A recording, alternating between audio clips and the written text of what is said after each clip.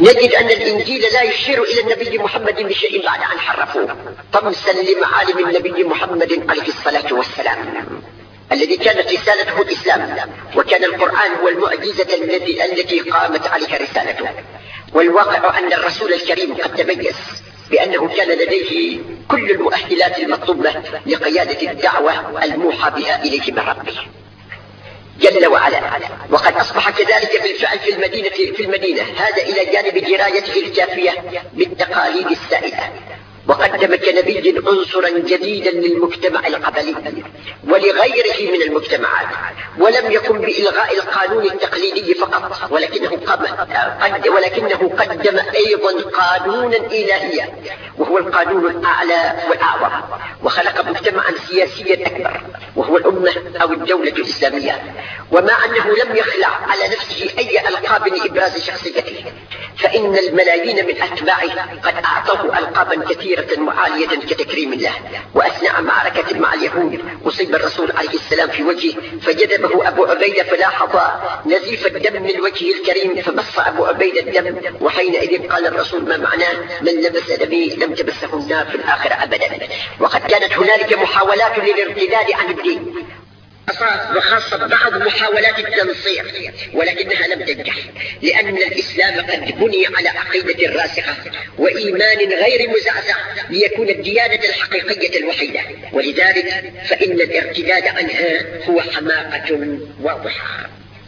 هذا ثم يقول في صفحة 30 وخلاصة القول إن الدين الإسلامي يعني الكثير في حياة المسلم اليومية أكثر مما يعنيه الدين المسيحي في حياة المسيحيين المسيحيين اليومية.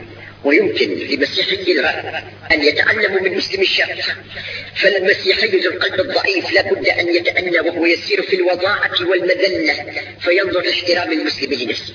حيث الروح والكرامة والمساواة المطلقة للإنسان تجاه الله. ويجب علينا أن نشهد لهؤلاء الرجال بلا خوف أو ويجب علينا أن نشهد لهؤلاء الرجال بلا خوف أو تردد أنهم هم المؤمنون. وقد كتب جوزيف بيت دارس اللغة العربية يقول هل كان المسيحيون على استعداد للاعتراف بالمسيح والإخلاص له بشدة على النحو الذي يخلص به أتباع محمد صلى الله عليه وسلم لا وهل كانوا على استعداد للسير كما سار المسلمون في طريق الإسلام الحنيف؟ إن الحقيقة كلما كانت أقوى كان الإنسان أشد حكمة وإيمانا. ولهذا فللمسلم دور سليم يعرفه وهل كانوا على استعداد للسير كما سار المسلمون في طريق الإسلام الحنيف؟ إن الحقيقة كلما كانت أقوى كان الإنسان أشد حكمة وإيمانا. ولهذا فللمسلم دور سليم يعرفه فإذا كان له قدرة على تغيير الشيء الباطل كان عليه أن يغيره. وإن لم يكن له تأثير فلينكره وليس هذا بالدرجة الأفضل. وهو في هذا يشير إلى الحديث إذا رأى أحدكم منكرا فليغيره بيده. فإن لم يستطع فبلسانه. فإن لم يستطع فبقلبه. قلبه وذلك أضعف الإيمان. هذا. وهناك أحد المستشرقين الفرنسيين وهو لامارتين في القرن التاسع عشر الميلادي. ولد في القرن الثامن عشر وعاش في القرن التاسع عشر. يقول لامارتين إن إنسانا لم ينهض أبدا متطوعا أو غير متطوع لمثل هذا الهدف الأسمى. يعني ما قام به الرسول الأعظم صلى الله عليه وسلم. لأن هذا الهدف كان فوق طاقة البشر. لقد كان تحطيم تلك الحواجز من الأوهام والأحلام التي حالت بين الإنسان وخالقه والأخذ بيد الإنسان إلى عتبة ربه. وتحقيق عقيدة التوحيد النقية العقلية المعقولة الساطعة في ضباب هذه الوثنية السائدة والآلهة المادية وذلك الهدف الأسمى والأعلى. إنه لم يحمل الإنسان مثل هذه المسؤولية الضخمة والمهمة العظيمة آه، والمهمة العظيمة الجليلة التي تخرج عن طوق البشر بمثل هذه الوسائل الحقيرة الضئيلة. إلى أن قال والأروع من ذلك أنه هز تلك الأصنام والآلهة والأديان والتصورات والعقائد والنفوس الإنسانية هزة عنيفة. إنه بنى على أساس ذلك الكتاب الذي تعتبر كل كلمة منه مصدر تشريع قومية ربانية ألفت بين أفراد كل جيل وسلالة ولغة. إن الميزة الخالدة لهذه الأمة التي كونها لنا محمد صلى الله عليه وسلم أنها شديدة المقت والتقزز من الآلهة الباطلة شديدة الحب لله الذي ينزه عن المادة وشوائبها. وهذا هو الحب الذي يدفعه إلى الثأر والانتصاب لكل إهانة توجه إلى الذات الإلهية. وهذا الحب الذي يعتبر أساس سائر الفضائل عند هذه الأمة. لقد كان إخضاع ثلث العالم لهذه العقيدة الجديدة من مأثرته بنارين لكن الأصح أنه, أنه كان معجزة عقل لا معجزة فرد واحد لأن الإعلان بعقيدة التوحيد في زمن كانت تئن فيه الدنيا تحت وطأة أصنام لا حصر لها. كان معجزة مستقلة بذاتها. وما لبث محمد صلى الله عليه وسلم أن أعلن هذه العقيدة أمام هذا الملأ حتى أقفرت المعابد القديمة من عبادها. فلا داعي فيها ولا مجيب. وتكهن يحرب ثلث العالم بحرارة الإيمان. هذه الاعترافات التي تصدر من العقلاء ومن أهل العقل. فإذا هذا الأفاك الذي يحاول أن يجترئ على مقام النبوة ويجترئ على القرآن الكريم لم يرحم نفسه ولم يشفق على نفسه من ظهوره بمظهر الهزء والسخرية عند الناس. وإلا لصان نفسه عن ابتذالها بمثل هذه الكلمات التي يقولها وهي لا تؤدي به إلى إلا إلى أن يصبح محتقرا أمام الكل لأنها تدل على سخافته وتدل على أنه لا يبالي بما يسري به من أجل تحقيق الحق الكامل الذي امتلأ به صدره وهو تناطح صخرة يوما ليوهنها فلم يضرها وأوهى قرنه الوعل. ونسأل الله سبحانه وتعالى أن يثبتنا على الحق وأن يديم لنا ديننا. اللهم أعز الإسلام والمسلمين وأذل الشرك والمشركين واقطع دابر أعداء الدين واستأصل شافتهم واجعلنا من عبادك المخلصين ومن حزبك المفلحين ومن جندك الغالبين ومن أوليائك المتقين واجعلنا من ورثة جنة النعيم. واحفظ لنا كتابك الكريم ووفقنا للعمل به والذب عنه ونشره في بقاء الأرض. ووفقنا لنشر دينك الذي اقتضيته لنا في مشارق الأرض ومغاربها. إنك ربنا على كل شيء قدير. وبالإجابة الجدير نعم المولى ونعم النصير. وصلى الله وسلم على سيدنا محمد وعلى آله وصحبه أجمعين. وصلى الله وسلم على سيدنا محمد وعلى آله وصحبه أجمعين. وأشكركم. والسلام عليكم ورحمة الله وبركاته. ولكن قبل أن أترك آه هذا الكرسي أو هذه المنصة.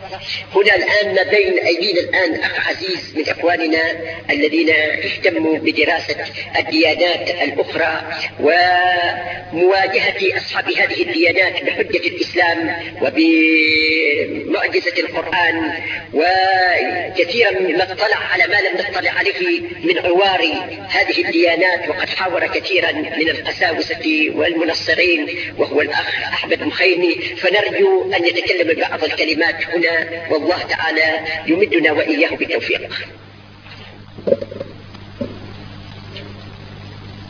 بسم الله والحمد لله والصلاة والسلام على سيدنا محمد رسول الله صلى الله عليه وسلم وعلى آله وصحبه أجمعين.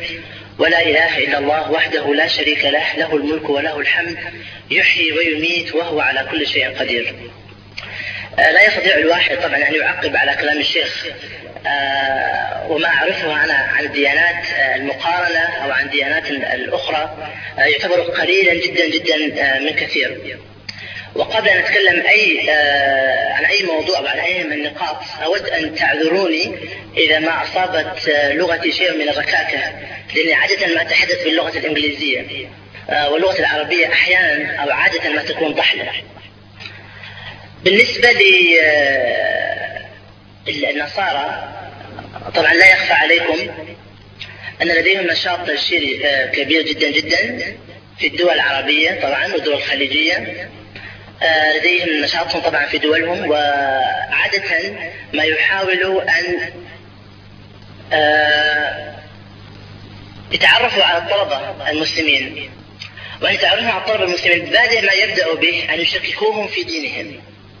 وبعد أن يشككون في دينهم. كما تفضل الشيخ يتركوهم في آه، بحر عميق من الشك والحيرة والضلال ولا يسمح لهم أو لا يجعل من هؤلاء الأشخاص. ناس لا يحبون الحقيقة وينأون عن الحقيقة بشكل آه، فظيع جدا آه، ويتمنى أن يخلق دينا خاصا به مكونا من جميع الديانات حسب ما يتوافق مع رأيه. وبالتالي طبعا ينحرف ويذهب إلى الضلالة. إذا استطعت أنا آه، أن ألخص بكلمات بسيطة بعض من الأشياء التي قد تحدث وتحدث كثيرا نعم بالنسبة للطلبة في آه، في بريطانيا أنا تعلمت في بريطانيا.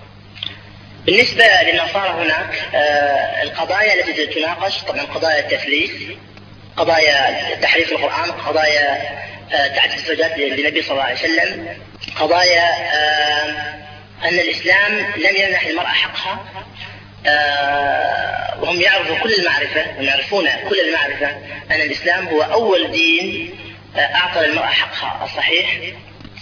آه، من القضايا الأخرى التي بدأت حديثا يتكلمون عن أن القرآن بلغت الشيخ بهذا الموضوع وهذا الموضوع بادي في عمان بشكل فظيع جدا أن القرآن وضع من قبل إله هذا الإله يشار إليه باللغة العربية على أنه مذكر. نزل على لسان رجل آه، في مجتمع ملؤه رجال فسر من قبل رجال وبالتالي لا ضرر أن يكون متحيزا للرجال وعنصريا بالنسبة للنساء. آه وبالتالي ترى أن كثير من النساء في هذا المجتمع للأسف بدأنا بالاستماع إلى هذه النظرية. آه وبدأنا بالتحقيق فيها وبدأنا في الدفاع عنها. وقد تناقض الواحدة نفسها تقول ولكن أنا أؤمن بالله.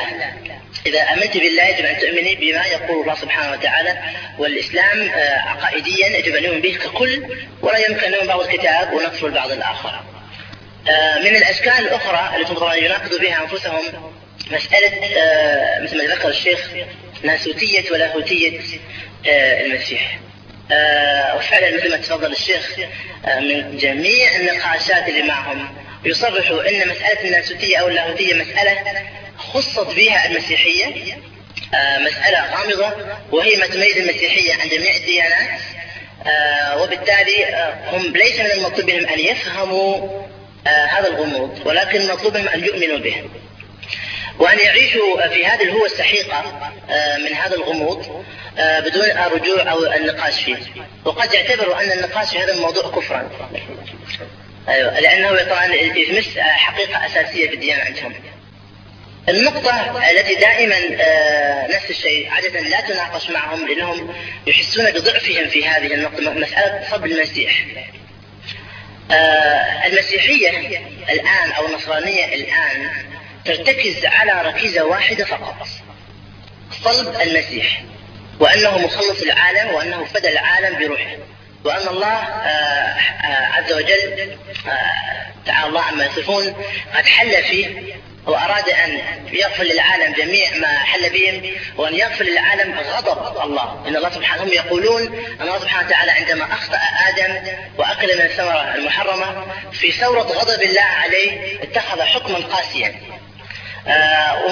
ولم يكن يعني أحسن استغفر العظيم بالله سبحانه وتعالى أن يصدر مثل هذا الحكم الغاضب على آدم بطرده ونفيه من الجنة. وبالتالي أراد الله عز وجل تعالى الله عن أن يكفر عن ذنبه بالنسبة لأبناء البشرية فخلق عيسى وأحل نفسه في عيسى وذبح نفسه في عيسى وثم صلى بالصلب وبالتالي آه، كفر عن جميع الأخطاء التي تسببت أساسا من غضب الله آه، اللامبرر له سابقا. طبعا آه آه إذا إحنا استطعنا أن ننقض آه إذا نحن استطعنا أن ننقض أن الصلب لم يتم آه انتقضت المسيحية برمتها. لن يكون هناك مسيحية حالية آه خصوصا أن الآن من الأخطاء نتجت في النصرانية الحديثة أنهم فصلوا ما يسمى آه بالدين اللي هو طريقة الحياة عن الدولة التي تحكم المجتمع عن الكنيسة اللي هو الجسم أو البدن آه الذي يحاول أن يجمع ما بين الشيئين أو أن يشرع في, في الديانات. لا يؤمن بمشرع واحد لا يؤمن بالله سبحانه وتعالى على أنه هو الشارع الوحيد للديانات والمبادئ. آه، آه، والشرائع في المسيحية. بل يؤمن أن الله سبحانه وتعالى قد يحل في شخص وعن طريق روح القدس قد يوحي إليه ويشرع ما يشاء. من الطرائف آه، في عام 1994 تقريبا آه، انتشرت عند الكنيسة إحصائية الكنيسة خصوصا كنيسة بريطانيا أن آه، الغالبية العظمى من المتزوجين اسما يعيشون في بيوت بدون زواج شرعي. آه، وبالتالي حتى تحاول الكنيسة أن تستقطب أعداد أعدادا كبيرة للحضور الكنيسة أصدرت كنيسة بريطانيا قرارا بعدم الحاجة إلى الزواج الشرعي.